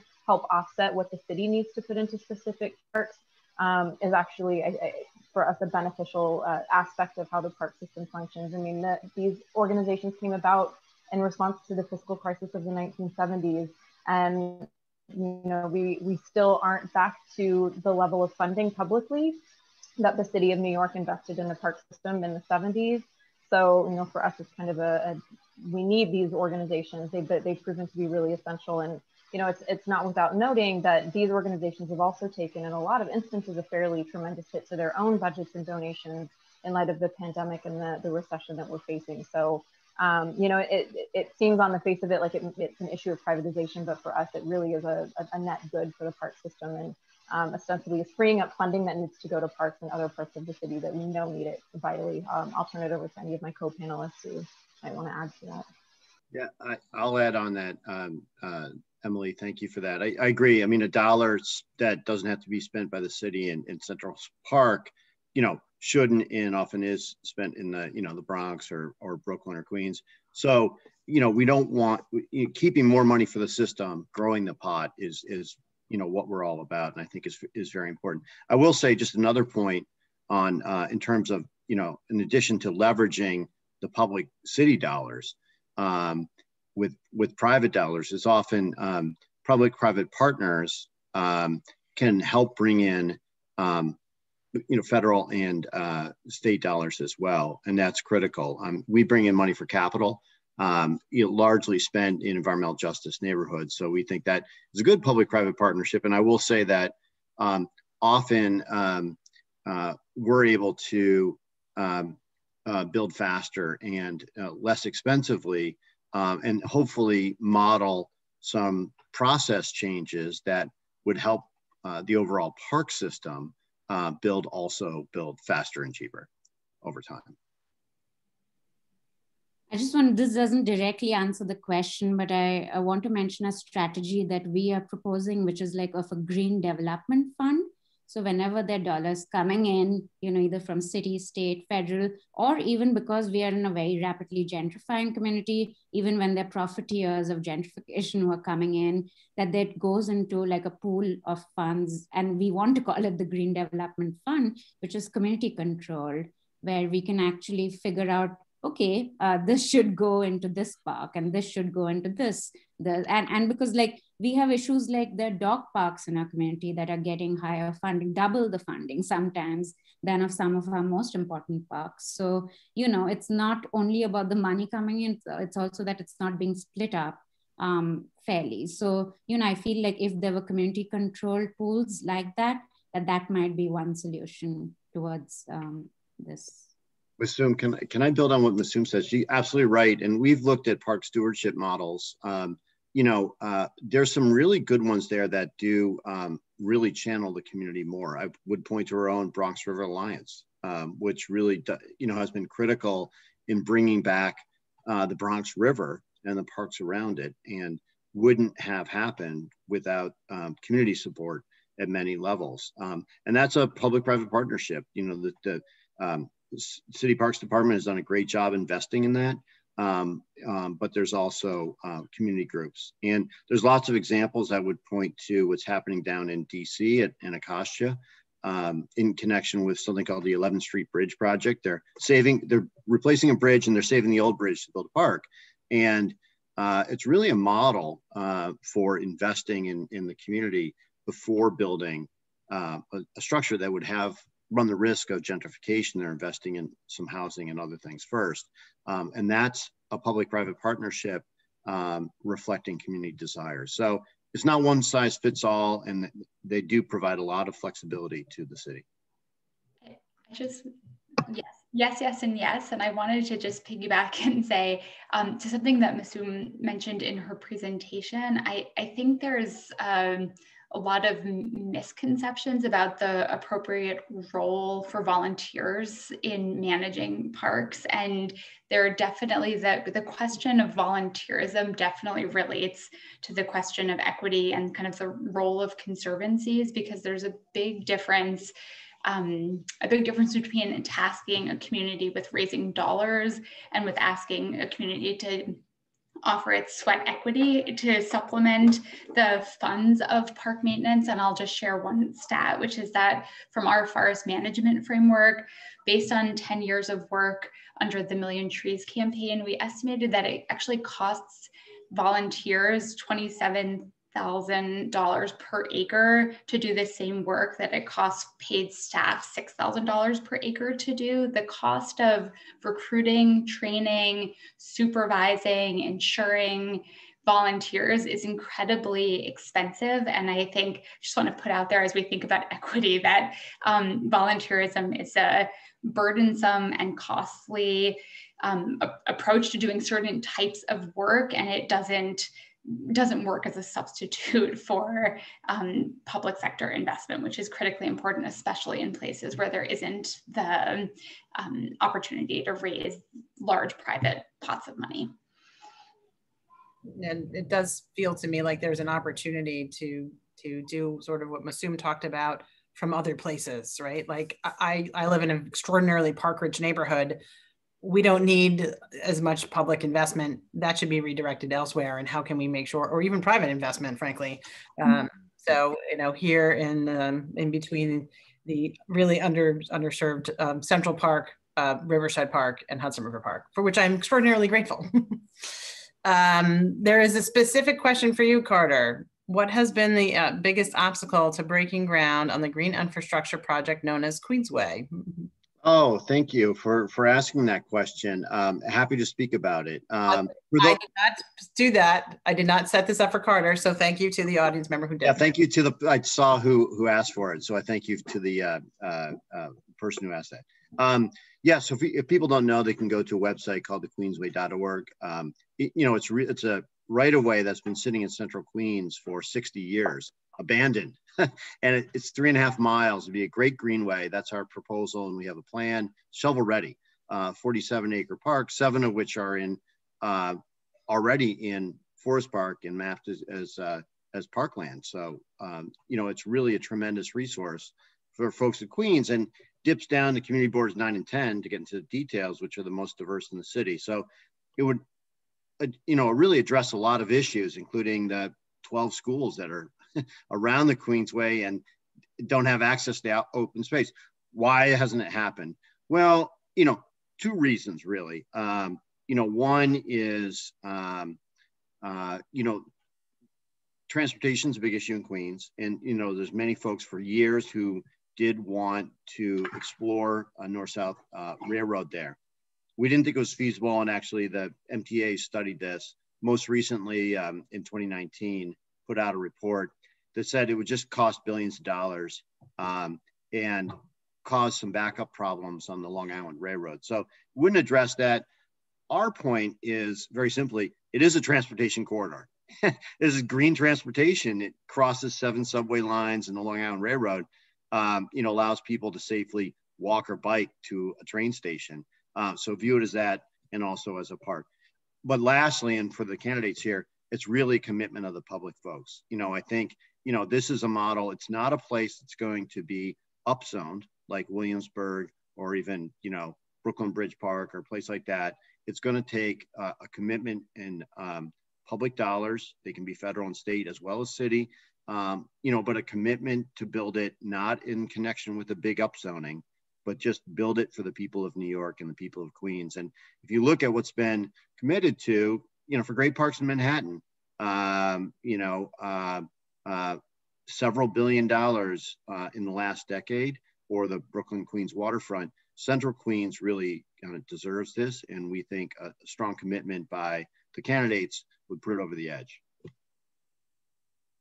So, speaking of spending money, um, we get a question about how parks can spend so much money on things that seem like they shouldn't cost as much money. And the examples being, you know, $1.5 million to renovate an existing bathroom um, or $6.2 million to replace three water fountains.